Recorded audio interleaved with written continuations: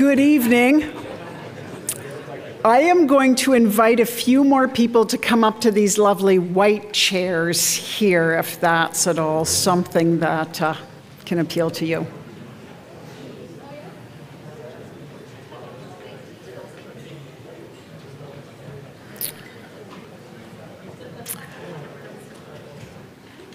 Good evening. What a wonderful group that is gathered here in the blessing of God's good creation. Welcome to Canadian Mennonite University for a face to face conversation on polarization. Get over it. My name is Cheryl Pauls, and I serve as president of CMU. Today and all days, we are honored to live and learn on the ancestral lands of Anishinaabe, Cree, and Dakota First Nations, and on the homeland of the Red River Métis Nation. We are grateful for their stewardship of lands and waters since ancient times and for the hospitality extended through the Covenant of Treaty 1 of 1871. We acknowledge the truth of past harms and ongoing wrongs and seek reconciliation for the flourishing of Indigenous peoples and indeed all relations. CMU's Face to Face series engages long standing yet timely matters not from postures of positions and sides, but from diverging starting points of life experience. Even tonight, with a formidable panel of political leaders, the conversation is not about partisan policy and debate, but rather how these leaders create collective ways forward by centering their work in relationships across difference.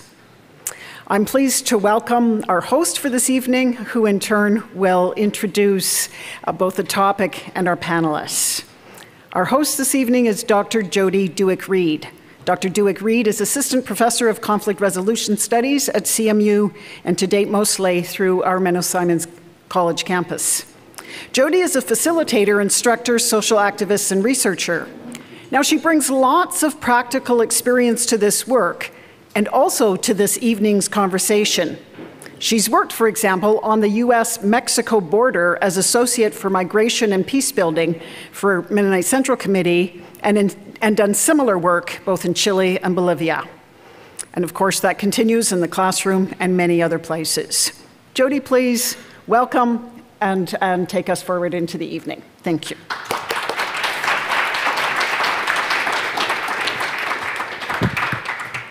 Good evening, and thank you so much, Cheryl. I'm delighted to be here tonight to listen to and delve into stories with our honored guests. Stories connect us, bring us heart, allow us to feel and to learn. Personal stories often help to bring us together, to see beyond the dividing lines. But to open this place as a space of storytelling in community this evening, I want to invite you to take one moment to look around you and to greet those around you, to connect ever so briefly face to face. Please greet one another.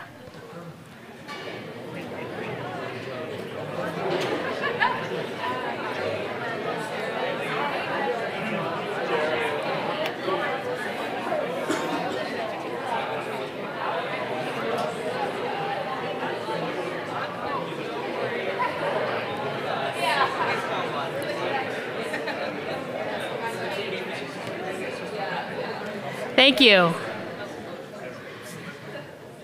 Thanks so much. In our first time of being together, uh, fully an in person event, we're really excited to be here. And I want to share a bit about the context of polarization and the importance of storytelling before I introduce you to our panelists. It's become trite to say it, but the pandemic divided us. Stay two meters or six feet apart, wear a mask for protection, don't host or attend large gatherings. These were our instructions for life to live by during the most difficult times of the pandemic. These physical separations, while temporary, have led to looser social bonds, more things to disconnect us, and less opportunities to connect. And tonight we're in Marpeck's, Marpeck Commons, as I said, for the first face to face, in person, uh, in several years, and it's part of an emphasis that CMU has to strengthen our social connections to get us talking about difficult things and to find hope in our conversations. As an instructor, I facilitate, excuse me, I facilitate learning with university students in conflict resolution and peace building.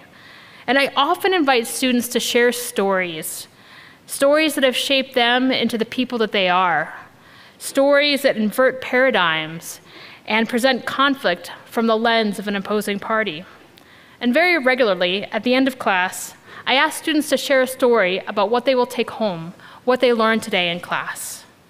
I try to model that by storytelling by telling them what I might share with my wife or my six year old when I go home. And after our gathering tonight, I may challenge you to figure out what story you will share. Storytelling as a way of relating, a way of learning, can have a powerful effect on our lives. Tonight, we enter a time of storytelling. And we're used to stories that are kind of negative, stories that, uh, where there are big divides between people. Uh, tonight, we're going to hear stories of overcoming, of bridging those concerns. Get over it, the subtitle of the event for tonight, is a cheeky way of saying, let's change the conversation, at least for a night. And focus on the positive and what we can learn from communities, uh, excuse me, from community leaders and how they work at these difficult things. Our society has come to accept that polarization is the way we relate. And we'd like to anchor our orientation tonight to hope and the possibility of relating across differences. To strengthen our resolve, our skills, and build our hope, we need to hear stories of transformation. And tonight, we are gifted stories from local leaders. My hope for tonight is that you will find heart, humanity, and motivation, feel the importance of storytelling and building bridges perhaps gain a nugget or two of wisdom to take away about hope, about um, community. And we hope that all may take the opportunities given, even if they seem small, to climb that divide and know that change is possible. So I'm honored to introduce you to these illustrious community leaders on my side and speakers whose publicly available biography inform these introductory comments. To my left, Minister Kelvin Goertzen, the current Minister of Justice and Attorney General, Government House Leader, and the Minister responsible for Manitoba Public Insurance. Minister Goertzen has been the MLA for Steinbach since 2003 and is a member of the Progressive Conservative Party of Manitoba. Minister Goertzen is a lifelong resident of Steinbach and graduated from the University of Manitoba with degrees in economics, commerce, and law. As a community leader, he served as vice president of both the Steinbach Arts Council and the Steinbach Food Bank, Helping Hands. Welcome, Minister Goertzen.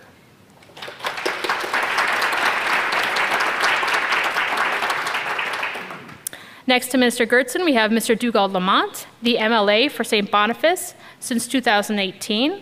He's also the leader of the Manitoba Liberal Party. He also is a graduate of the University of Manitoba with degrees in English. Mr. Lamont has worked as a writer, editor, and policy analyst in the private and public sectors, including employment at the Manitoba Museum, Western Economic Diversification, and Indigenous Affairs Manitoba. As a community leader, he has volunteered with Got Bannock and helped to raise funds for local nonprofits. Welcome, Mr. Lamont.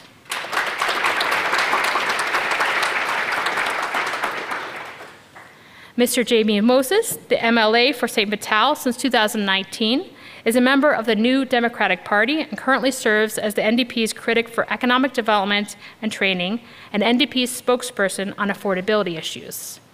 Prior to his election, Mr. Moses worked in the financial and agricultural sectors. He also graduated from the University of Manitoba with a degree in agribusiness. And as a community leader, he has volunteered with the Glenwood Community Center and the Glenwood Parent Advisory Council and as a basketball coach. Welcome, Mr. Moses.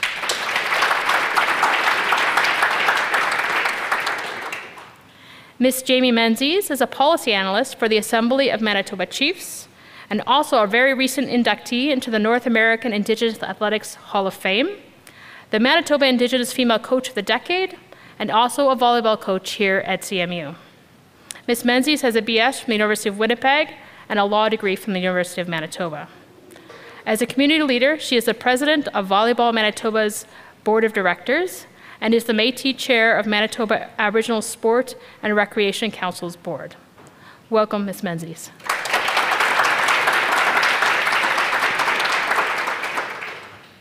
The format for this evening is as follows. I will invite input from the panelists in the order in which they're sitting, and we'll hear some stories from them for approximately three minutes.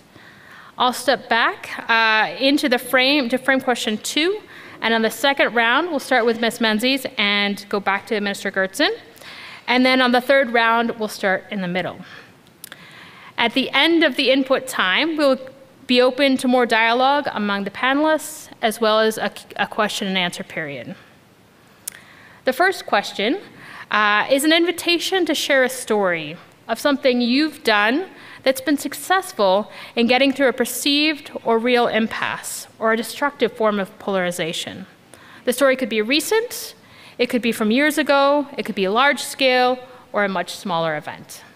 So, in simpler terms, the first question is this Please share a personal story that illustrates how you have overcome polarization to engage with people who think or act differently than you. And I'll pass it right on. Thank you, Mr. Goertzen. Yeah, thank you uh, very much. Pleasure to be here this evening. My wife Kim has joined me as well. Uh, so it's a pleasure to have her here. It's great to be here with these uh, panelists. We look like a bad Mennonite choir, but that's okay. We'll start singing later on. Yeah. Um, so when it comes to polarization, I'll give you uh, maybe a general than a specific. Uh, I've been the uh, House leader for I think about 15 years out of the 20 years that I've been elected in the Manitoba legislature, and the House leader works more than anybody else with other political parties. And so I work with the House leader for the NDP and for the Liberals to try to organize the legislature.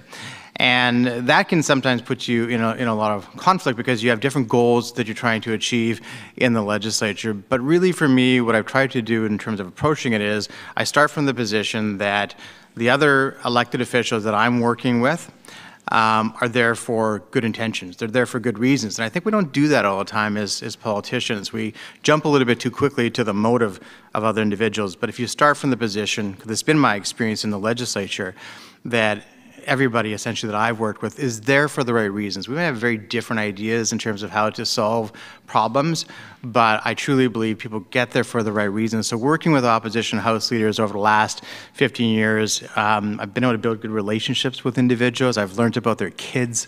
I've learned about challenging times they've gone through. I've gone to some of the funerals for their family members, and it really is about relationships. It's really hard to dislike somebody when you get to know them as a person. You still might not agree with their views, but when you get to know them as a person, it's really critical. And then I think language matters. You know, uh, when I got appointed as Minister of Justice a little more than a year ago, a little thing called the Trucker Convoy showed up in, in Winnipeg and across Canada, and it was difficult. And there was a lot of difficult discussions about it. One of the things I tried to do early on, though, was to say and to say to our caucus, I'm going to talk about conduct and not try to condemn. And so, as a Minister of Justice, and it was my role to speak about it, I'll be very quick to say people shouldn't be able to block things like downtown Winnipeg. You can't block the border like Emerson. People need to be able to get across the border, and it's important for trade. But I really stayed away from the motivations or why people were doing things or to condemn individuals individually or personally. Because it's really tough to talk to somebody after you've done that, and it's tough to come to a, a conclusion when you've tried to put a motive onto somebody. But it is clear to talk about the conduct.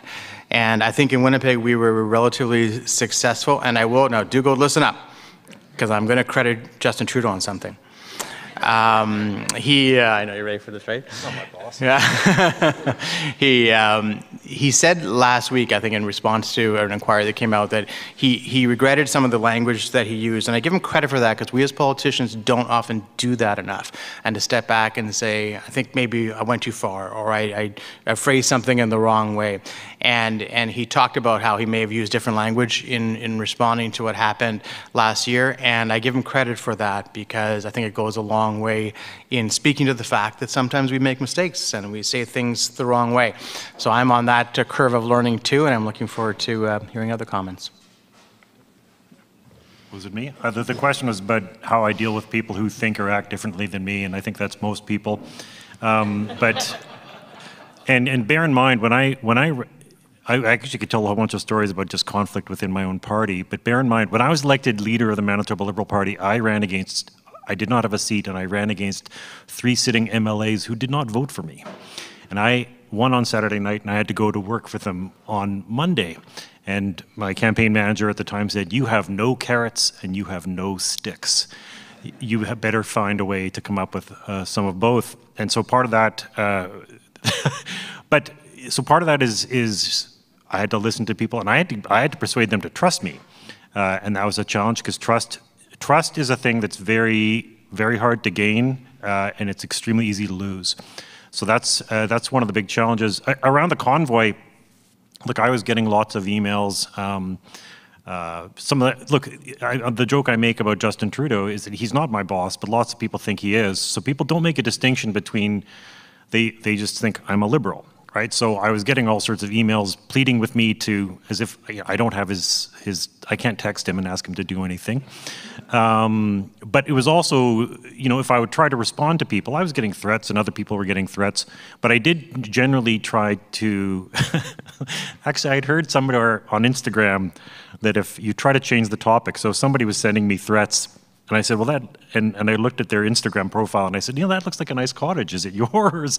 And he didn't he didn't it didn't help. But when it came to and it turned out he was he's in he was in British Columbia. But I mean, I did actually have to file a complaint. But there were but the thing about it is that even when people were sending emails, I would I actually tried to send emails back and say, well, look, this is why I'm this is why this and I sometimes very long emails and I tried to make them pretty fulsome. And sometimes they would work and sometimes they wouldn't. Um, but there was a guy who called screaming uh, racist remarks and obscenities, left this long message at the Manitoba Liberal headquarters. And I actually called him back and gave him and had a 45 minute or an hour conversation. And look, he's a guy who is he's he's venting. And I think one of the things when we talk about polarization, I think it's driven by desperation. And so, uh, like real desperation. So, whether people can actually afford to eat, whether and, and, a complete sense of lack of control over their own lives. And I think that's part of what happened during the pandemic is that people had felt they had no control over their own lives.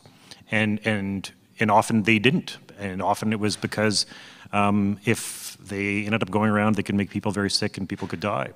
And that was a challenge communicating that and and for and, and and I don't ever discount. I, I think one of the things to remember, always remember, is that everybody even though we don't don't agree, everybody can feel pain, everybody can feel suffering, and it's remembering that, remembering to treat people fundamentally as a human being, um, and not just as a member of a group, because that tends to instantly reduce somebody. The highest, the highest way we can appreciate somebody, as, as, as Kelvin said, is as a person, as a person with full feelings and, and like you.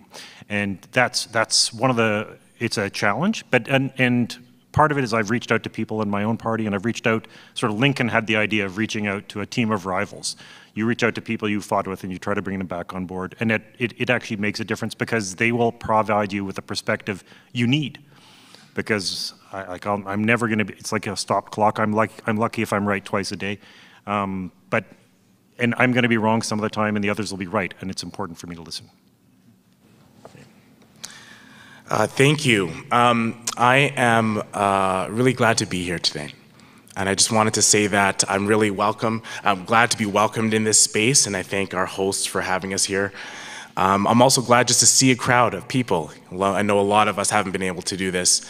And so it's really nice to see uh, this space full of people who are engaged in a topic that, you know, sometimes you might think is a little bit touchy, But I think the fact that we're here gathered discussing this just proves that our community is really ready to uh, be involved in this and be involved in breaking down these sort of barriers and break down the polarization that we might often see or hear about in the, in the news. I think we're all ready to move past those sort of things. I'll just share a brief story. So prior to my involvement in politics, uh, I was, as mentioned, uh, worked in agriculture. And so, uh, you know, I worked at the Canadian Wheat Board, being uh, someone in the mid in their mid 20s, a black guy who works primarily with, you know, kind of you, you think typical white male farmers in their 50s, 60s, and 70s. You think there's not a lot of commonality there, and you know, on the on the surface there isn't. Um, but I can remember a particular case where we were working with a group of farmers. And, and helping them on different uh, you know, aspects of, uh, of coordinating with the wheat board. And one farmer wasn't really responding as much in the group. And so I went up to him and I was approaching him about to ask what I could do to help. And before he, I got a chance to say anything, he said to me, What are you here for? in a very abrupt tone. And I could tell it was because of his presumptions of me and that I could not uh, be of any use to him. And so I said, Well, I'm here to help you if you let me. And I said that because I wanted to build a connection with him, that we both share the same goal of helping his farm be successful. I was had my knowledge of the wheat board to add to his knowledge of his particular farm, and we could combine those things to make things better for his particular situation. I was able to create a framework there for us to actually start a dialogue. That wasn't part of our dialogue. We went on to have conversations and help him with his farm. But just those few words gave us a little bit of a commonality to create a framework to build on. And without that framework to build on, we would not have had a successful working relationship. So, and I think that sort of analogy goes with any uh, discussion we're having in our communities. You know, when we see these divisions in the media, we're discouraged. But if the more we talk, the more we can share our common goals, our common interests, our common values, it builds frameworks within polarized and divide, divided communities. And the more we build that framework, it allows us to have better communication, uh, better um, relationships with each other, and uh, share our commonalities and move forward together as community. Hi there. Um, I would like to start by situating myself in this topic, um, and then I do have a story also. Um, but as I was considering how I wanted to approach this, um, I was thinking of a few things, and Jody kind of framed it. Let's move forward with hope and relate across differences. So I just want to unpack that for a moment before I get into my story. Um, first of all, moving forward in hope. This word hope can mean something different to everyone. And um, my partner and I talk about this word a lot, actually, um, because I think there's this perception that hope has to always mean happiness or ease. And I don't actually reap a lot of hope from ease and the status quo. Um, I reap hope from a group of people that are willing to be in a space and be critical of the norm, or people that are willing to approach a tough topic and think of ways that it can work the best for the most people. So, um, polarization can be kind of an uncomfortable word, um, but I am encouraged by this space because I think we can approach differences in a critical way and it still be hopeful and from my perspective, more hopeful than, than not approaching some tough stuff. Um, so I wanted to start with that. Um, and the other thing that Jody started with was relating across differences. Now, I'm, I'm aware of the fact that I am um, the woman on the panel and the Indigenous representative on this panel, so I think that I would be um, remiss not to address this word differences in, in a certain way. Um, because I think that polarization can kind of be framed as two sides, two extreme sides of one issue. Um, but in a way, I want I want to think about it differently tonight, or I'm most comfortable thinking of it in a different way. and that way is that there is a dominant norm, a dominant culture, um, and then there are others. And that's kind of uncomfortable to talk about, but um, I'll just list a few ways that we understand um, culture. And the dominant culture would include kind of a capitalist mindset, um, would include you know, remnants of the patriarchy or a very real patriarchy. Um, in this space, maybe an Anabaptist culture, but in other spaces, I would say probably the Christian um, faith generally is the dominant culture. Um, you know, white folks or white presenting folks, which I am, that would be the dominant perspective or the dominant voice that is most often heard. Um, and so I could list those forever, but, but we all understand what the dominant culture is.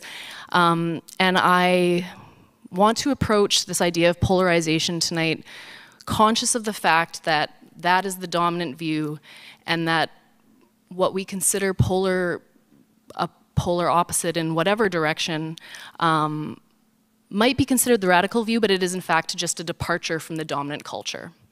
So that's kind of the approach that I want to come to this conversation. Um, and that may not always be popular, but um, I think I would, I think it's my job tonight to bring light to, you know, the indigenous perspective as well as some others. So um, the story that I'm gonna tell with maybe the 30 seconds left of my time um, is a little bit close to home. It involves Cheryl, in fact. I've been a coach here with the women's volleyball team for five years. Um, and I was coming to the space, I'm not Mennonite. Um, was very welcomed in that respect, but I'm not Mennonite. Um, I'm the only woman coach in the athletic department, and I'm also one of a, very, uh, a handful of Indigenous staff here. And so a few years into working here, I wrote a letter to the Dean of Student Life, also Charlie's here tonight, um, and the president and my athletic director. And I, I didn't really know them that well at that point, in fact, but I just raised um, ways that I thought CMU could treat a woman coach, indigenous folks, and non-Christian or non-Anabaptist folks better. Um, and I'll admit I was a little fiery when I was writing this letter. Um, and I was very pleased to find on the other end, Cheryl um, offered a meeting. And so all three folks were there, Cheryl and Charlie and all the people that I addressed the letter to. Um, and so I approached this as an indigenous woman, a coach, a woman in athletics who, you know, mostly it's male dominated. And I was being critical of an institution, um, which I think is okay to be. Um, but you know, after about three hours of conversation, um, I learned a lot from Charlie and Cheryl. They were willing to share pieces of themselves as individuals with me, but also the philosophy of the institution. Um, and so I was able to shift a little closer because I understood them. And they gave me a ton of space to teach them in a sense. And so we were just teaching each other about ourselves as individuals and also the communities and institutions we come from. And, um, you know, we left all having learned something um, and benefiting, um, but also feeling like more of a community than, than opposites on an issue. So um, I appreciate that of them, but also um, I think in there are some tactics for how to overcome polarization is, as was already mentioned by my fellow panelists, um, building relationships, um, being willing to be critical and be in the uncomfortable spots, um, and um, acknowledging differences and um, giving space to people's voices, which I felt that my voice was given space in that situation. Thank you. Thank you so much, each of you. Um, really learning some interesting stories, and I'm seeing lots of themes running throughout um, your stories. For the second question, I want to pose what story nurtures you in your ability or your willingness to work across differences? Perhaps a story from your childhood, perhaps a story uh, that's been in- insightful for you as you've, you know, been growing as people. So, what story nurtures your ability or willingness to work with people on the other side of significant divides? And this time we'll start with Ms. Menzies and we'll come back this way. Okay. um, okay, well, um, I will kind of let you in a little bit more on my identity here before I start. Um, I am Métis, my mother's Métis, and my father is of settler descent. Um, I've benefited from the privilege of his, of the intergenerational wealth that came with my father's family, um, but also have been very tied to my indigenous culture um, my whole life. But I'm also white presenting. So there's some conflicting things going on with my identity a little bit. Um, but I try to be conscious of the fact that I am both indigenous and white presenting in the spaces that I'm in. Um, and so this hasn't always been my approach, um, but in whichever space I am in, and I'm going to name a few, give a few examples, um, I try to be conscious of whether the onus is on me to uh, I'm going to use the word depolarize just because that's what we're talking about. Whether the onus is on me to be the heard or the listener. Um, and so, yeah, I guess just the strategy being who the onus is on to depolarize a situation, because I don't believe every person in a space necessarily has that onus. Um, and I'm going to give a few examples. Um, I've been coaching for almost 20 years, and my, the athletes that I've had the chance to coach over the course of time, one of whom is here, Hi, Rachel. Um, yeah, they've been one of my greatest examples in this respect, in fact. On every team, on every sports team, but every team, um, there's conflict. There are differing, differing views, um, interpersonal conflict and otherwise. Um, and a strategy that I've used that was a lot of people use it, but um, I bring it from a traditional teaching, is a sharing circle. So I often have sharing circles with my teams, especially when there's a conflict, just to make sure that everyone's voice is heard and this is a strategy for working through conflict in indigenous nations. Um, and my athletes have taught me so much through those sharing circles.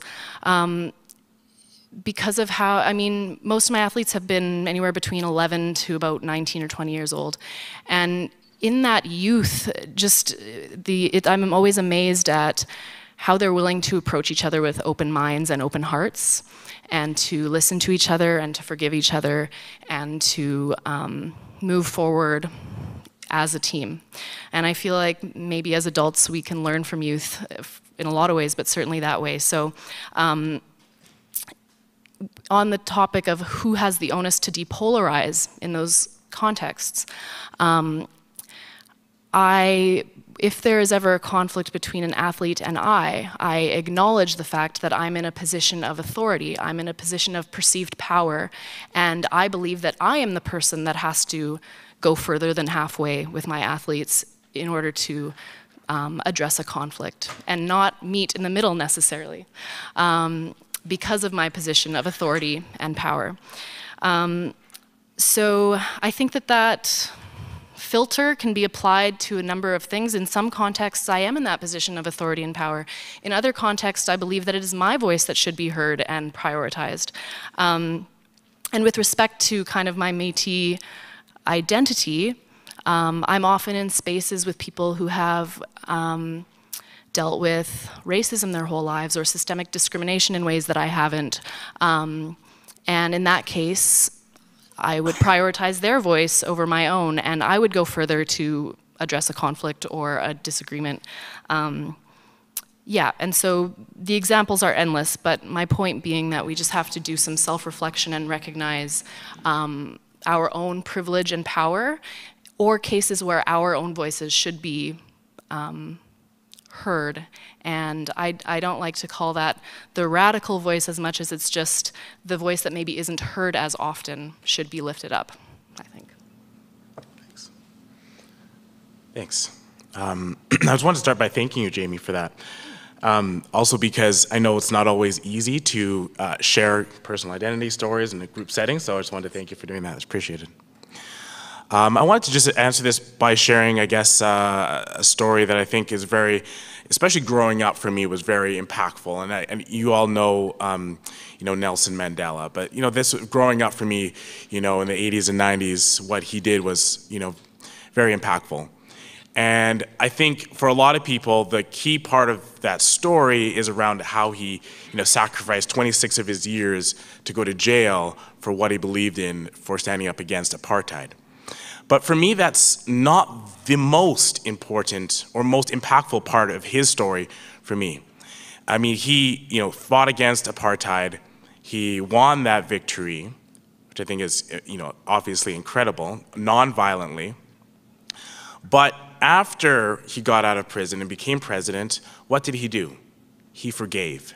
He forgave those people who put him in jail, and he forgave those people who stood against black people in South Africa.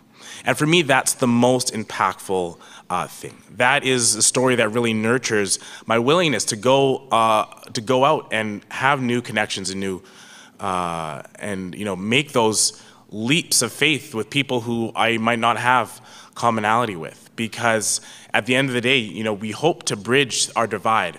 We hope that we can find a commonality and the areas where we disagree with it's my hope that I can live up to that example of uh, Nelson Mandela and be able to forgive. And I think now that I'm in a role of a politician, now that I'm in this, you know, being an MLA, you know, I think it's even a greater challenge and a greater responsibility for us to do that work.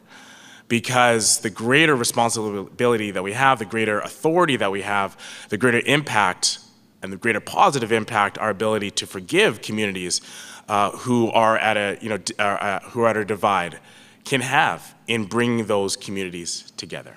And so I think that's the aspect of his story uh, that really you know kind of fuels me and propels me.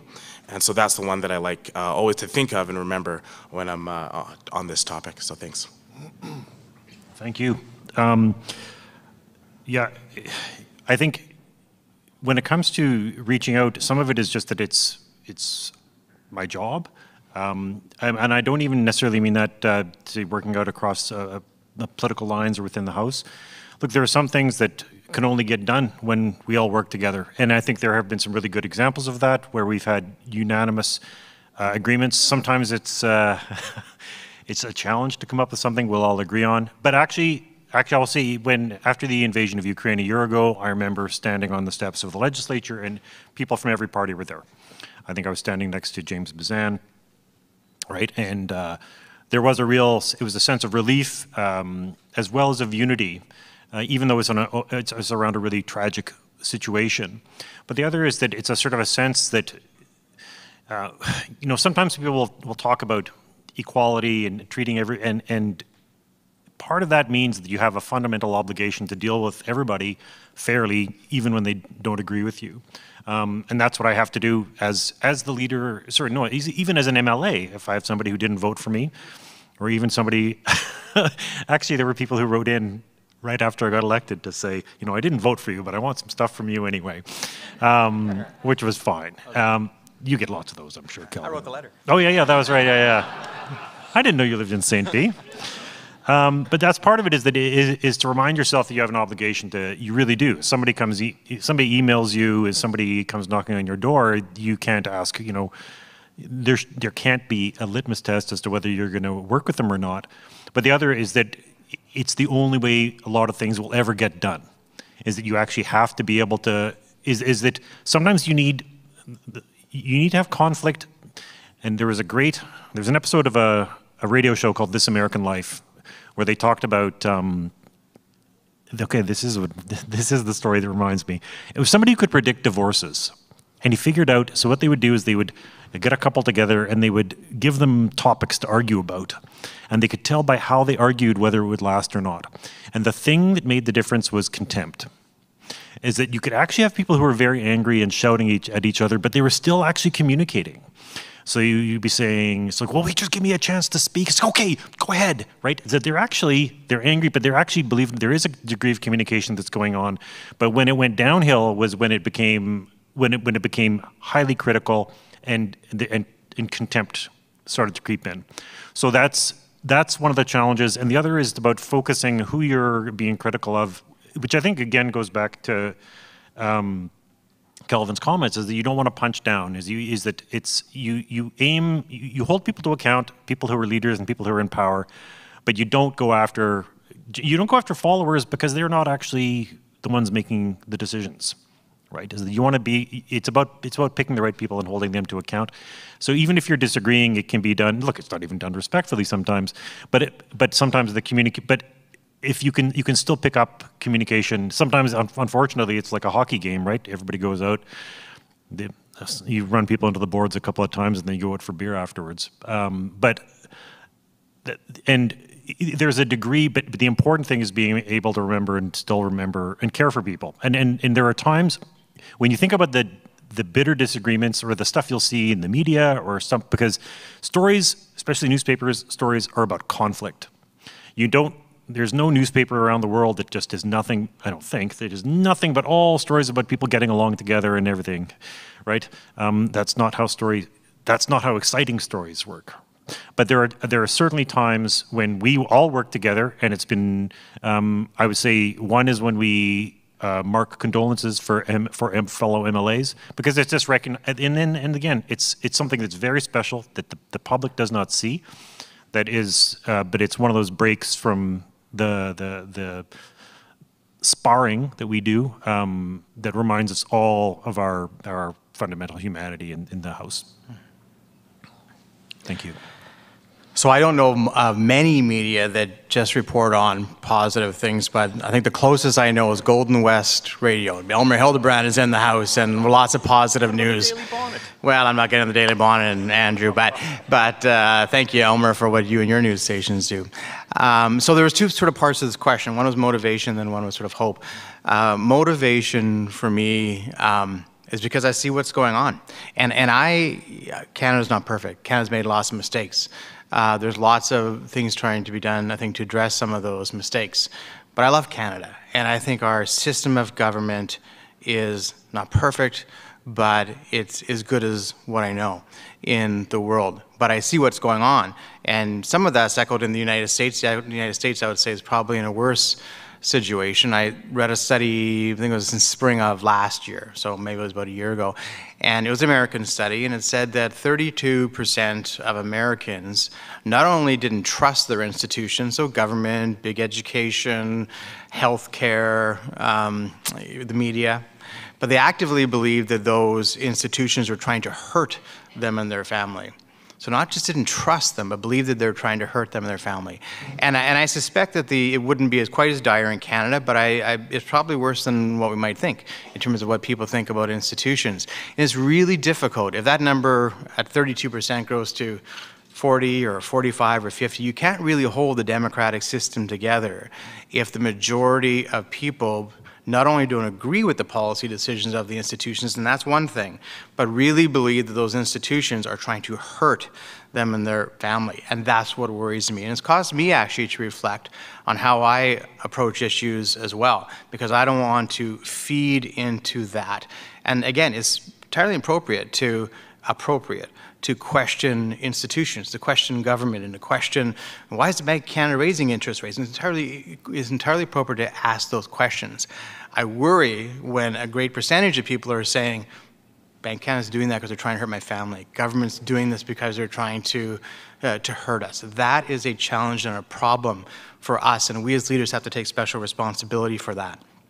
Where I get hope uh, is sometimes you see the opposite. When kids come to, when children come to question period, um, after question period, we, or sometimes before, we get a chance to talk to them. So usually after question period, particularly if they're younger, I spend a lot of time apologizing for what they see in question period and trying to, well, you know, explain why it turned out this way and why it looked worse in their classroom and this and that.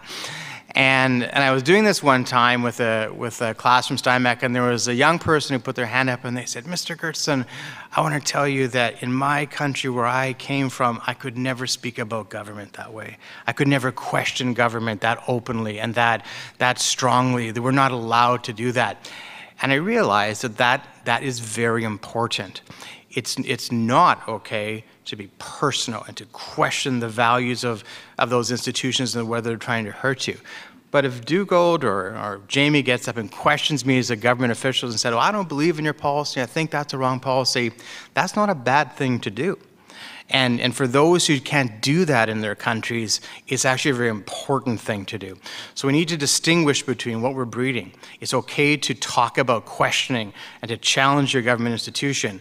When you're doing it to the point where you're, you're suggesting that those institutions are evil and trying to harm you and you're breeding that, I really worry what that does to Canada.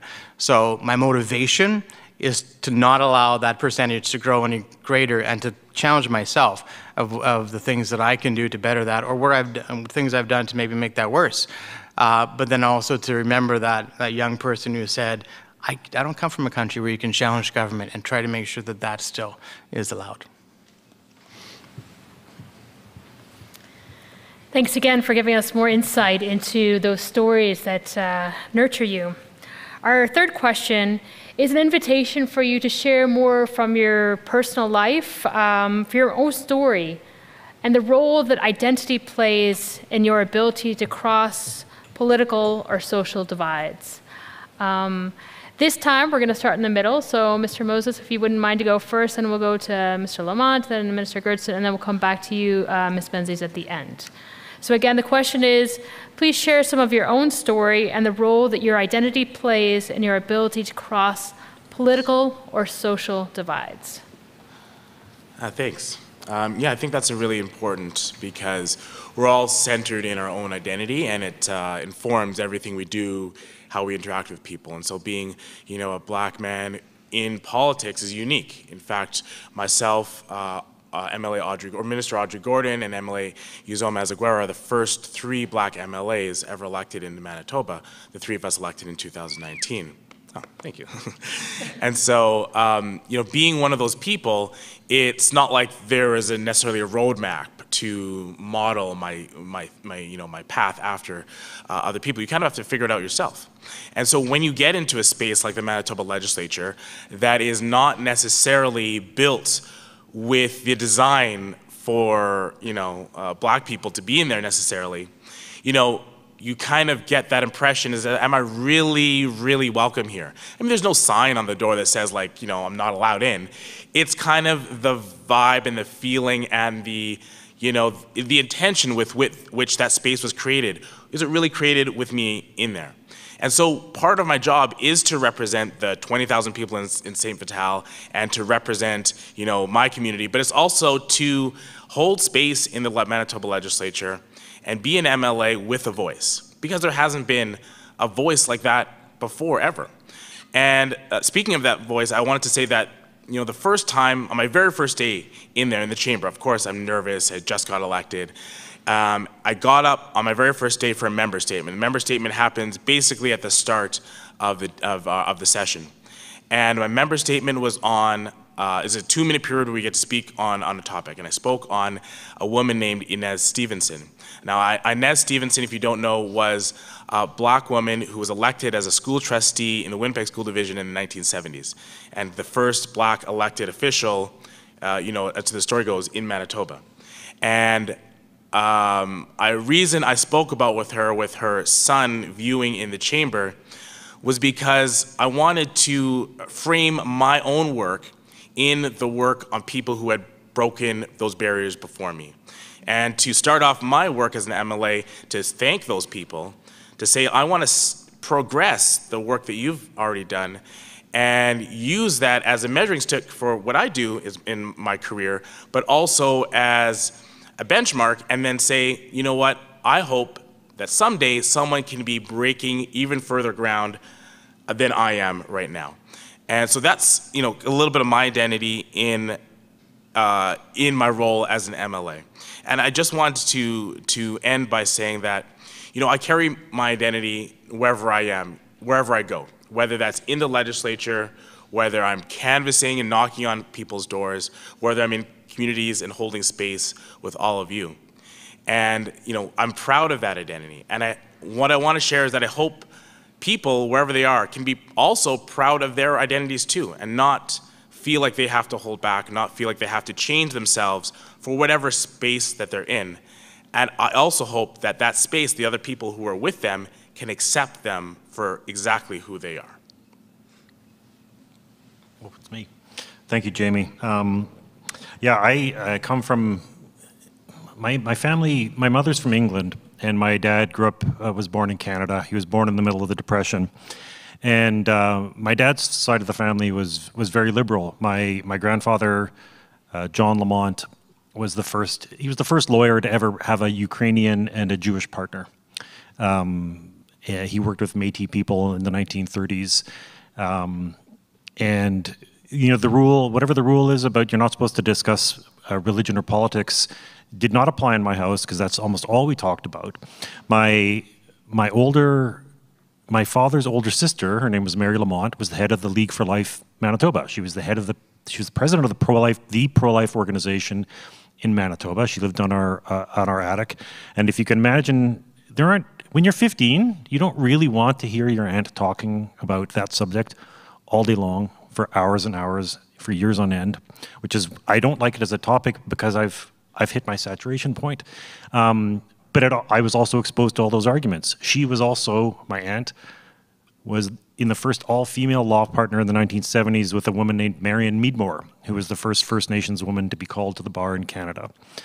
But my grandmother, my mother's mother, was from Northern Ireland, which is she was a Northern Irish Protestant from a place called Armagh, which is the point of the murder triangle, which is to say there were there's hundreds of years of deep hatred, and it's not just deep hatred between people who look different; they look exactly the same, because they're could be related to one another, and you can actually. She was Protestant, and she hated Catholics. Uh, she had an irrational hatred for Catholics. So my brother converted to Catholicism. Not because of that. Maybe because of that and so did my older sister. And I didn't know that I wasn't supposed to let anyone know. So I was the one who broke the news to my grandmother by accident in letters because I wasn't told I was supposed to be keep quiet for it about it. My uncle, my dad's dad, was a had been a liberal for a long time, but he and my aunt were founding members of the Reform Party. Um, in fact, my uncle sat next to Stephen Harper at the founding convention here in Winnipeg. So, but we all still talked.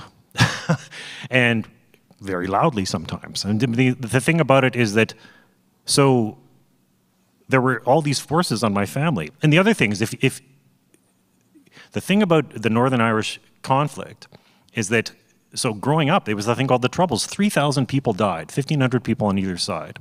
And one of my best friends growing up here in Winnipeg was Catholic. And, and he was from another community nearby. And we both knew that when we were 18 or 19, that instead of drinking beer and playing video games in a basement, we would have been trying to kill each other. And it would have been just because we were each other for that. And, and we knew people who were threatened. We knew people who were, um, I'm sure he had cousins who were in the IRA. I'm not sure. I think most of my family had left um, because it was too miserable. Because I, and I had a, I had a great uncle, his gerrymandering. The term gerrymandering comes from, they used to go from door to door, and his job was to deny Catholics the right to vote. Uh, and he told he he gave it up, and he he I think he just he quit his job as a, as working for his landlord and said I'm leaving and left for Australia. So. Oh, uh, sorry, and that was it. I also forgot that my I shouldn't forget. My brother married a woman from Africa, who was also I think I that was another letter I wrote to my grandmother, which was a big surprise because but and look, and my mother, my mother was also very right wing. But it, it, sounds very strange. My mother, who was born in England, is now an African matriarch. But there, we've brought a number of refugees over from Zimbabwe who look up to her, and and we send money back to Zimbabwe. And so part of it is having this very open family uh, with enormous commitment to hospitality, but also recognizing that if it, being very very grateful about what we have here in Canada, and being very cautious about. I don't like people I don't want people, like, when I say people, I'm actually talking about, I don't want the conflicts that murdered people, that, that killed people until the 1990s. I mean, Ireland is only 3 million people. We were talking, if there were a civil war in Canada, tens of thousands of people would have died. Um, and so part of it is just recognizing that terrible damage that can happen and being, I'm, for that reason, I'm very uh, appreciative. But the other thing about it is what do I have to do to actually hold my family together?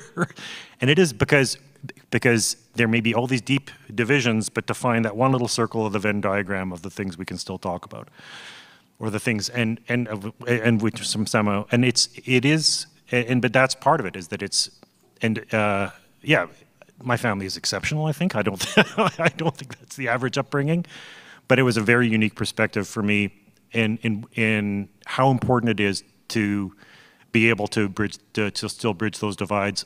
And actually, I'll say this about my grandmother: she was hilarious. She was charming. She was a great cook. She was a great entertainer. She was funny. But it also taught me that somebody who's very, very nice can have bad, can have very unpleasant views.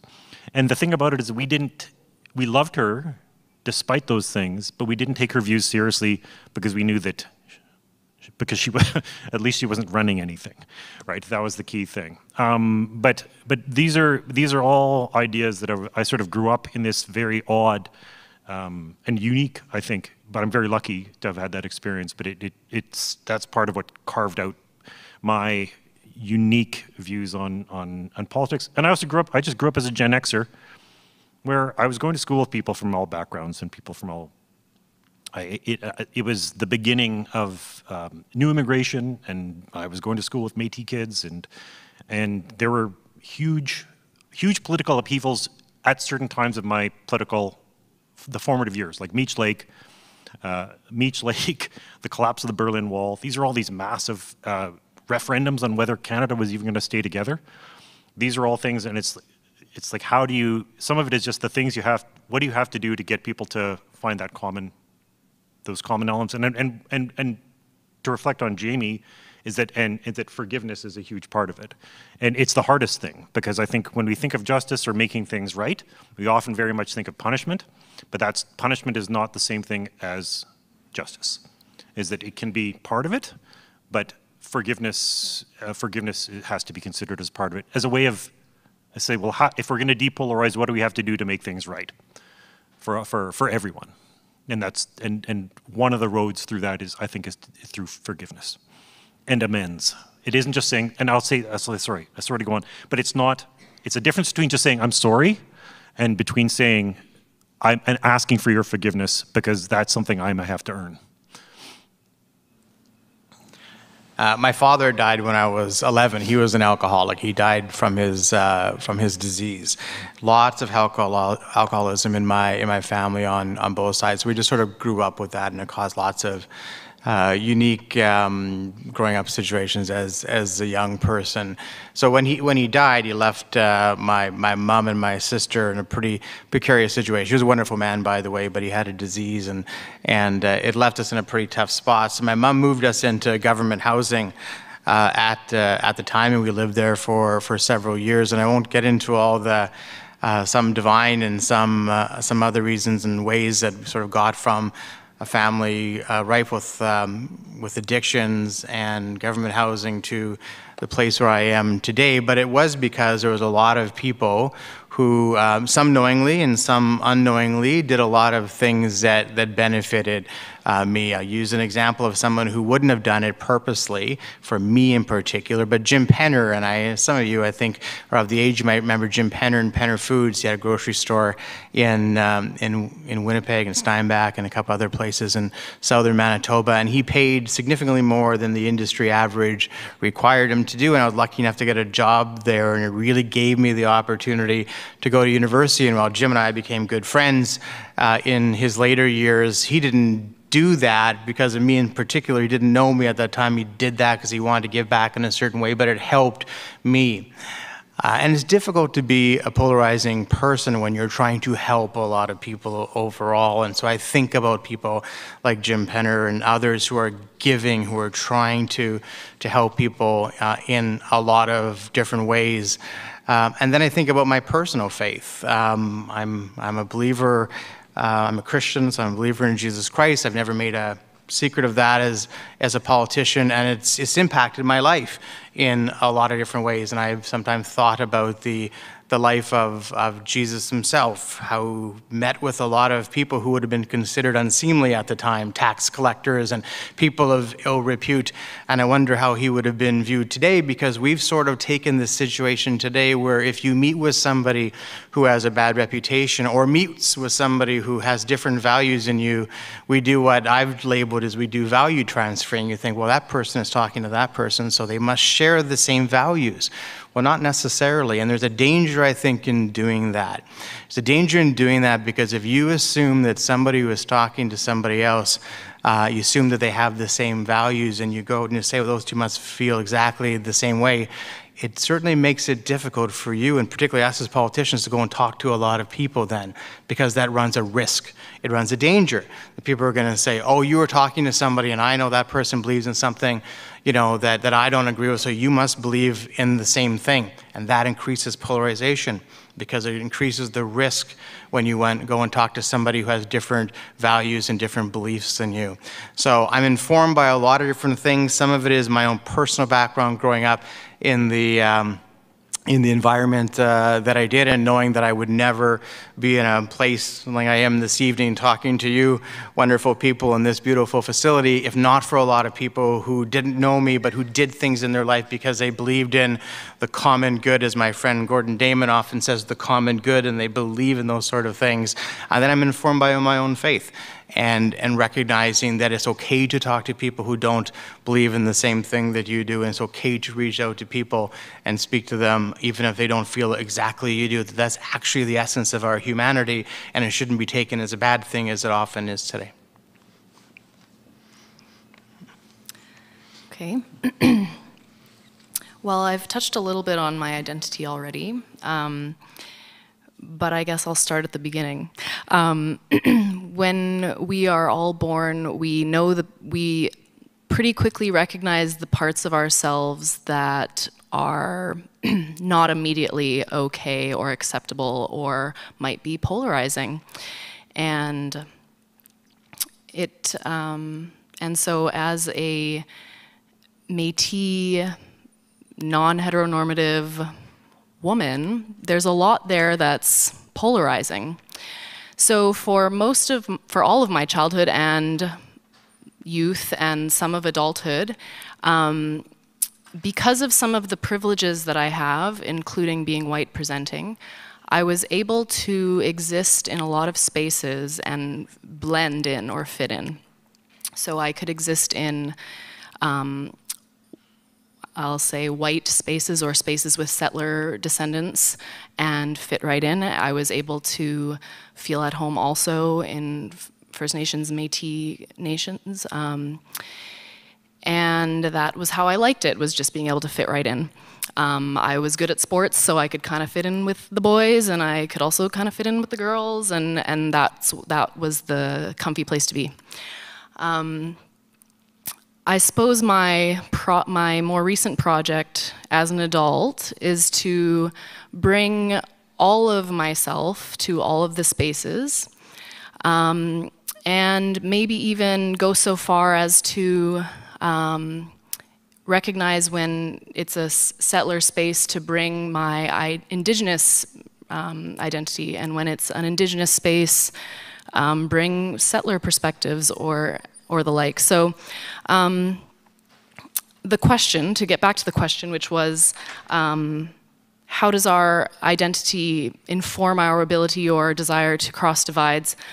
Um, or something like that. Jody, you can, I think that was some, how you put it. Um, you know, I, my father is a uh, descendant of settlers, um, part of the colonial project, and my mother is an indigenous woman, and in a sense, my parents couldn't be further apart on like a polar continuum. A continuum. Um, and I grew up in that home. And so what I used to think of as a curse, being a person that didn't fit in anywhere because um, of the, all these uncomfortable things that I've been told aren't okay, um, I consider all of the parts of me a gift that allows me to relate across the continuum. And so um, that is how I approach my identity now, and I think of all of those things about me that are different as a gift and a way to relate. So. Thank you again for allowing us to a little bit more into your lives and sharing from your personal stories, your families, um, the stories that shape you. Um, before we begin the question and answer period, um, where I will ask you to formulate your question or comment in approximately 30 seconds at the microphone.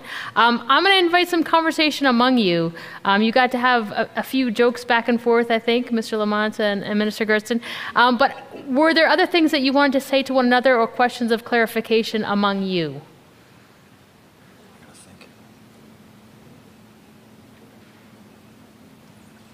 Well, well, I often wonder sometimes, uh, Jamie, because I've, I've, had the experience of talking to Audrey in in our caucus, and um, and then I hear from individuals. Uh, yeah, so just Jim Rose. Uh, then I hear from individuals sometimes. Um, in fact, it was just um, I think a British Columbia uh, NDP MLA, I think, who resigned and said that they felt that they were in a hostile environment in the legislature. From your perspective, um, being among the first black individuals elected to the legislature, do you feel any of that? I mean, is there hostility or things that, that we're doing that, that don't make you feel as, as welcome as we might otherwise want to? Yeah. Thanks. I appreciate the question. Um, I'll give you one example. And so uh, we enter the building every day, right, when we go to work. I don't know about you, but how, how often you maybe get asked or questioned by the security who go into the building, right? But it wasn't until my third year as an MLA that they recognized me and let me in. It was the routine when I went to the front door that they would ask either CID or say, oh, who are you? I say, I'm the MLA for St. Vital. Same thing driving in the building.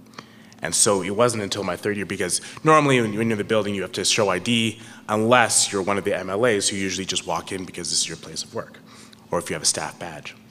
So it wasn't until my third year that they started to recognize this. So this is kind of an, I don't know whether how you, how you would describe this, but for me, this was a sign that the people who are running this building, who are set to control this area and this space, were not prepared for someone like me to work here as an MLA.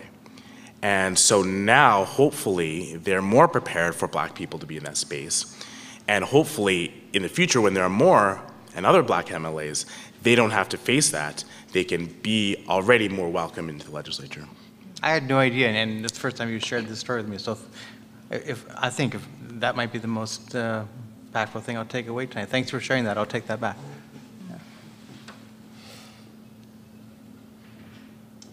Thank you. And, so hopefully now you've come up with your questions. Again, the idea is we have one microphone here. You're welcome to come up and to frame your question.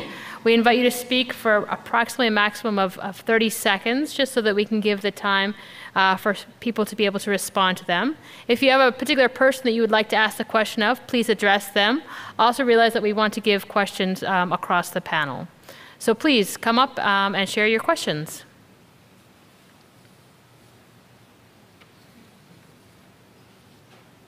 Um, I'll, I'll, ask a question, but I'll make a very quick observation. I appreciated the, uh, the identity-based questions, really. Uh, um, as a newcomer to Winnipeg in the fall of 2020, I, like all newcomers, I went to the Forks and I saw a statue of Gandhi. And then I said, what's Gandhi's statue doing here in Winnipeg? that, every class I asked that question to whose statue should be there, everybody says it should be an indigenous person. Uh, but still, I'm still perplexed by uh, Gandhi's statue at the Forks. So the, uh, uh, the, the, question of identity is a good one, and I appreciated that. Here's my question. I appreciated Jamie, your, this Jamie's uh, point about how polarization often assumes that there are these two extremes, right? So my question to maybe uh, each of you, if you have a, a few moments to address it, each of you, is how do you talk about polarization in the context of something like domination? Like, how do we talk about polarization in that context? I'll, I'll, start if that's okay. No, that's, that's a great question. Um, for Gandhi, I th- oh, sorry, I'll start with Gandhi. I think it's because he's a global human rights figure. I think that's, and he got his, his, his, and there were some folks here who wanted to make sure he was represented. But I think there's two things that happen, or there's lots of things that happen. But I mentioned it before that it's that I think polarization out publicly is driven by is driven by desperation. So um, because I used to and I used to teach a little bit at the University of Winnipeg in it was called government business relations. But one of the things that happens is if you have a big financial crash, uh, what follows very often. Um, there was a, a, paper. They looked at 140 different countries. You have a big financial crash, all the banks lose their money, everybody loses their money, there's no mortgages, there's no money around. And often what happens is that um, countries will go one of two ways. Either they become more socialist, well, they're actually three. Either they become more socialist, or they become more authoritarian and hard right wing, or they might even become national socialist. And, and it really is, in part, being driven by desperation because people's needs aren't being met financially. And in fact, there's no way. Um, and one of the things that happens is that when you have a collapse, you have people who had something and then they lose it. So people are powerless. It's, it's driven by desperation and a lack of power uh, for sort of publicly the, among big groups in society. But then at the same time, you might have groups who are trying to maintain control. So they could be maintaining control because they're actually just trying to maintain law and order because you've got riots and other things going on. But the other is they might be trying to maintain control because they want to stay in power and they actually don't want to help. And I think one of the things is that it, a lot of polarization, and whether it's protests or riots and, and uprisings, they're, driv they're driven by that sort of sense of communal pain, uh, where, uh, of, of desperation, and, and but also by the inability sometimes of authorities to meet those needs. Um, and so that's and it's one of the reasons why it's very important to make sure that people have the necessities of life, not just because it's humane um, and because everybody is equal and, and deserves and, and, should have those fundamental necessities of life, but because it actually, I had a saying, is the worse you treat people, the more it's going to cost you in the end. So if we actually have that approach, that if we're going to treat people, if we actually, you can actually treat people better and and, and, ensure it's it's actually really a kind of peacemaking. I actually think that's one of the the the the alternatives or the solutions to what we're talking about in terms of polarization is is peacemaking, and and that gives that's a give and take, and that's a thing that's negotiated, and it can't be punitive, and that's part of it is that. The other two great lessons after the First World War, they punished uh, the victors, punished and punished and punished the the the people who lost, and John Maynard Keynes in 1919 said he quit the peace talks and he said, uh, the way this is going, there's going to be another war in Europe in 20 years. And he was right. And then after the Second World War, they did the opposite. They said, you know what, we're going to reach out and we're going to help rebuild Europe and we're going to invest and we're going to lend so that we don't, uh, so it doesn't happen again. And I think that's part of what, that's, it was called the Marshall Plan. But I mean, some of that is to say we need to reach out and we need to help people. Um, and, and including the people who are who, who say um, who say they're opposed to us. It's critical. Thank you. Anyone else on the panel for that? Uh, yeah, I can add, uh, add, some thoughts to that. So you ask about the dominant, the large population against maybe a small group. And to answer, I'll go back a little bit to my Christian faith and offer, uh, you know, a Bible story. Some of you might know this kind of the story of the Good Shepherd, right? Jesus, the Good Shepherd, taking care of his flock of 100 sheep. One gets lost, right? And so Jesus, you know, the Good Shepherd goes and finds the lost sheep. And for me, that's about, you know, really that's a story about equity, right? That's a story about the Good Shepherd uses, the uses his resources to help the one, leaving the 99 and really helping the one who needs the help the most. That's equity, right? And I think that's the approach that that, mess, that story teaches us that we ought to be taking. But what that story also tells us is that in the Good Shepherd leaving and helping the one, he's also relying on the 99 to be okay with that, to accept the dominant group, to accept the fact that we need to help and put more resources into the one. So it calls, it's a call to action on that 99 to be okay with that. And then when that one sheep is returned to the flock, it's a call to action for all the 99 to celebrate, to celebrate and say that that person is back in the fold. And so it's really when we're dealing with these polarizations with the, with, uh, with the dominant group, I think that's a good story to keep in mind that equity is something that we need to, you know, we ought to really be focused on and that there is a call to action for that dominant group to be part of that because it is how we actually have a functioning society when we can all celebrate lost, you know, bringing back a lost someone when we have the majority group celebrate um, someone coming back into the fold. Maybe add, um, I appreciate that perspective, but I'm going to go a bit of a different direction. Um, and I'm not sure exactly what you were getting at with your question, but I'm wondering if maybe there's an assumption that um, the main perspective is so if the main perspective is the dominant perspective, there's maybe a misconception that that would be the majority and that the extreme poles are the, the radicals that are the minority. And I'm I guess I'm going to answer your question with a question, which is um, we, we just have to take a keen eye to who is measuring polarization, who is telling us what are the poles, and a dominant culture doesn't necessarily mean the majority of the people, it just is the loudest voice or the voice that has had the biggest platform. Um, and so although that may be dominant, it's not necessarily, it doesn't necessarily represent the most people or the people's best interests. Um, so I don't have like an answer per se, but just kind of, that is how I would approach your question, or that's how I think about your question, is that dominant doesn't necessarily mean majority, and the extremes and the radicals aren't necessarily the minority. It, um, they're just the voices with the um, fewest platforms or, yeah. And, and just quickly to pick up on Jamie's point, I think there's a responsibility for all of us, whether we think we're in the you know, polarized extremes on either side or in the dominant views in the middle, whatever our perception of that might be, uh, to lead with the question of why does somebody else feel the way they feel. And that certainly didn't happen a lot during the pandemic, and I think I was guilty of that too. And I learned that a little bit as we went along to, to stop trying to suggest why people should feel the way they should feel or feel the way I feel, but to start with the question, why do you feel the way you feel?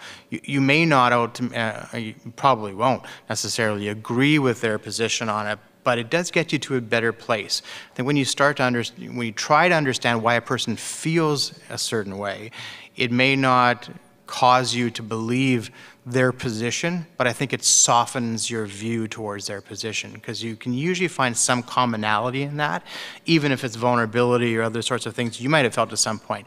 And, and I think that all of us should have learned in the last couple of years to start with a question rather than a solution on people. And I'm trying a lot more when I get different sorts of things come at me to start with, why do you feel that way? And then move from there. We still may not end up on common ground. Um, but I think we end up in a place of much better sort of respect. Thank you. Thank you for all your uh, perspectives and thoughts on that. Uh, is there another question that people would like to answer? Excuse me, offer. First off, I want to thank you for all your contributions tonight. As an educator, I have the good fortune of guiding grade 9 students through questions about government. And as we've heard tonight, our system has elements that are worth celebrating. It also has elements that are maybe exclusionary or even oppressive. So Instead of just apologizing to students for the debacle that is question period, what is one structural change that we could make to government to reduce polarization? I think this is. I think it's. Uh, I think it's. it's I think it's. Uh, this is the what? As, as, uh, as the government house leader, oh. I think you feel like use is a little bit in your alley here. There, there, there's an old. Um, there, there was somebody who at one point tried to um, not allow political parties to sit with each other. And it was the notion of where, where you sit determines where you stand. And it, it had the idea of trying to mix people up and so that they could, you know, sort of share different views and, and those sort of things. I think that that's a part of it for sure. Um, I do think we need to start to look at, when it comes to question period or other parts of, of um, the debate in the legislature, to separate out things that we consider to be policy and things that we consider to be personal. Uh, and that can be done sometimes through the rules, but ultimately rules don't go very well in a, in a combative environment like that. I think it really ends up with political parties meeting with, with, with each other more and recognizing, this was my point before, that we have not just a collective responsibility, but it's, it's, it's, our, it's our business that's at stake.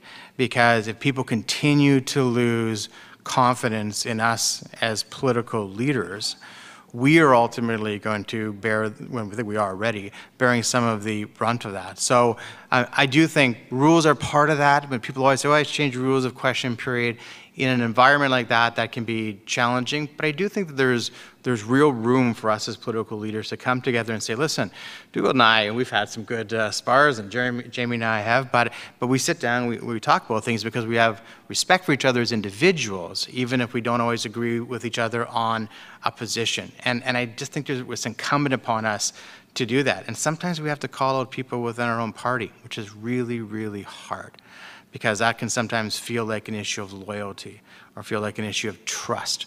But if we, as we continue on, if this continues on down this road, I think there is a responsibility for us. That doesn't, I don't mean go to the free press necessarily, but speak to each other in, in our caucuses that way. I'll, I'll, I'll just briefly touch on it. I think, no, it is funny. Well, just when you were talking about, yeah, look, I have three seats in the legislature and I'm the moderate middle. So, um, but in terms of like I think I, I will say in, in, after the 2019 uh, election, there were still times I would sit in the House where we lost a seat, and I was I thought you know it is really quite incredible that we have a question period where I get to ask questions of the premier. And he has he doesn't have to answer but he does have to stand up and say something. Or she. No this was in this is i'm talking about this is this is this is 2019 yes so. Um, so we do have an incredible that that ability. It is hard. But the other thing about it is there are also some extremely, very, very tough issues. And I was thinking about this as well, is that, um, and the, the pandemic showed this. It, it's, and I don't, I do not envy in any way the, the choices government had to make.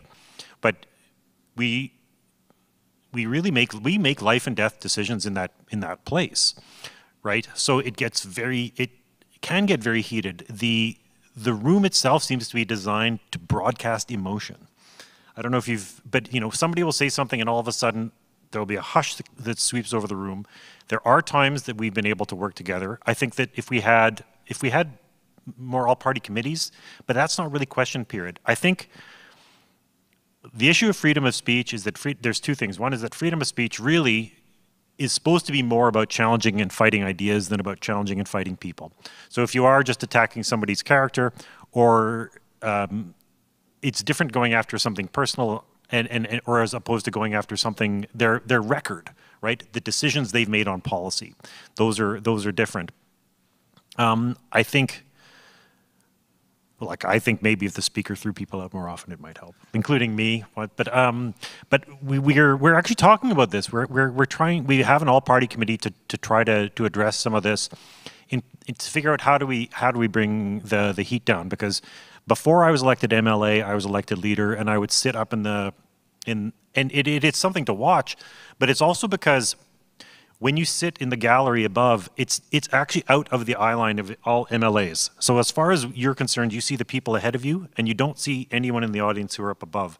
So all you, and and I could see two sides very much focused on one another, and it can get personal, it can get heated, um, and and some of it is because some of it is because uh, stakes are high. Some of it um, is because uh, somebody's rude, but um, I think there are certain things we can do to reduce the amount of either if it's an innuendo of uh, suggesting that because the one thing I'm it's quite it's, it's an odd thing about parliamentary privilege is that I can accuse someone of a crime but I can't call them a liar. Um, uh, yeah, I can't. Yeah, and, and and that's that's that's because you're not. I don't know why accusing someone of a crime is not supposed to call. You're not supposed to call in the honor of the people, other people in they're all we're all supposed to be honorable, right? And you're not supposed to call question that into question by suggesting someone is a liar or that they're preventing. Um, and so, but I'll say very often, what we we we there's a thing, and it grates at me, is the idea that when people say, "Well, you're putting false information on the record," is or there are these things that sort of skirt around that, and and it's not, it's not, it's not out and out, but I find it wearing. I find it morally wearing. That's uh, one of the challenges. And it's and it's just a very, I mean, I, is that, sorry, I'll say, but just I feel anxious every single time. I can feel my anxiety rising every single time before I have to ask a question. So it's an anxious place. You have all sorts of things. There's, there's no, and yeah, and it's and you're out there fighting, like fighting in public in a very controlled way. But it maybe just needs to be just a little more controlled. Thank you. And Mr. Moses, yes. Okay. Thanks. Um, I want to thank you for the question as well, and thank you for educating grade nine students. As Kent, I'm sure that's a challenge. I've, I speak, I've spoken with a number of grade nine students recently for Black History Month. I've been at a lot of schools, and I know I can understand how challenging grade nine can be. So thanks for doing that. Um, to answer your question, I think I first thought is that nobody is all good and nobody is all bad, and we have to take that into consideration with, with words that we're speaking in the in the House. And your question is calling on for us to be more compassionate in our uh, in our speech and in our uh, attitude and our behavior in the legislature. And I think that's really important. But the challenge with it is that there's not really a space for us to listen to each other in there very well. It's not set up for us to listen. And we all, as we've been speaking all night, right, it's about building these bonds to get through the divide, and you can't do that without listening, right?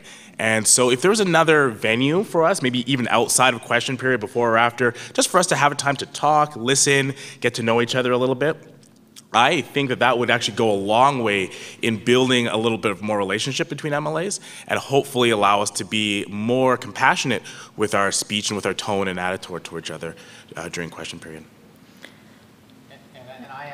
The advantage of, as House Leader, I work with the opposition more than anybody else in our caucus, and I see that. I would say this, you know, to your grade nine students, there are other parts of the day of the legislature that, you know, estimates and that, which are quite boring, and people, MLA sort of questioning back and forth, but it's not question period. It's actually some thoughtful questions, and I would think thoughtful answers sometimes, maybe not always, but sometimes. Um, but then there's also lots of other things. When Jamie passed Black uh, Black History Month, I think it went over, and a lot of people went and congratulated you and on on doing that. And uh, sometimes people lose family members, and they they come and speak to each other in the house, and they exchange cards. That Richard Cloutier, I don't think would mind me saying this, but when I got elected almost 20 years ago now, uh, he said, um, Kelvin, I want to tell you something. We don't report when the planes land safely. We report when they crash. And the reality is that that's true. And 80% of the, of the bills that pass in the legislature pass by consensus. They pass with all party support. Um, that doesn't get reported. But the reality is, we do actually agree on uh, the vast majority of bills that come to the legislature. And when there are tough times in each other's families, I see it all the time where MLAs rally uh, around each other and, um, and are supportive of each other. So tell your grade nine students that, that what they see in that 45 minute period uh, isn't the only thing that ever happens in that legislature. Thank you for issuing that invitation, also for thinking about systemic change, for doing things differently, for listening. So tonight we have listened to some powerful. Sorry, oh, sorry. Oh. Not like more systemic, not even just question period, but systemic change that would reduce polarization in government. I have many imaginative dreams for how to flip government on its head. Um, they are probably polarizing opinions. Um, well, instead of drawing on my lack of experience in government, I will um, draw on something that Nahanni Fontaine, also a minister, has, has said before, and um, I appreciated. Um, her belief, um, and I know Nahanni Fontaine has styles that uh, rub people the wrong way, and she isn't always the most cooperative, probably. I don't know. I'm not in that space. But um, her vision for um, systemic change would be better representation in the government. And I know that, uh, you know, a number of ministers are on the charge to see that Manitoba's population in all of its diversity is better represented in the government. Um, and there are a lot of hurdles and reasons why um, our government is not representative right now. But I think that if we did have um, better representation, then um, things would look different just by virtue of people bringing their different experiences and different cultural ways of knowing and thinking and um, if they're from other countries, different styles of governance, governance and I think that um, with that would allow some much needed change in addition to a number of other things. But I think representation is very important, and I think that a diversity of perspectives um, is, is the only way to govern a group of people. So. Thank you. Thank you for adding that additional component of, of, of change that's needed. I want to capture a little bit of what I've heard. I've heard to overcome polarization, we need to make connections. We need to honor human dignity. We need to see and recognize that we have some mutual goals, that we can be found, we can find ground, grounding and hope that it's okay to be critical, it's okay to recognize different power dynamics, that we need to share of our own self, that we need to build trust, um, that we need to ask who has responsibility in different situations and be willing to take our responsibilities and listen to others. So, those are a few of the different things I've heard. Um, I heard a very articulate story about Nelson Mandela. I heard about Northern Ireland. I heard about indigenous teachings on sharing circles, all things that nurture our um, panel in making the kind of change that they're required to do or that they're invited into uh, in their work and in their personal lives. So I'm grateful for hearing the stories tonight. I want to thank our speakers, Minister Goertzen, Mr. Lamont, Mr. Moses, Ms. Menzies, for being here tonight, for sharing of yourself, for offering the stories, and for allowing us to feel some hope as we go forward. So, as we go forward, I invite you to think about your story about tonight, what you may share with others as you depart. May you go with your story, discover another story, and go with hope. Thank you.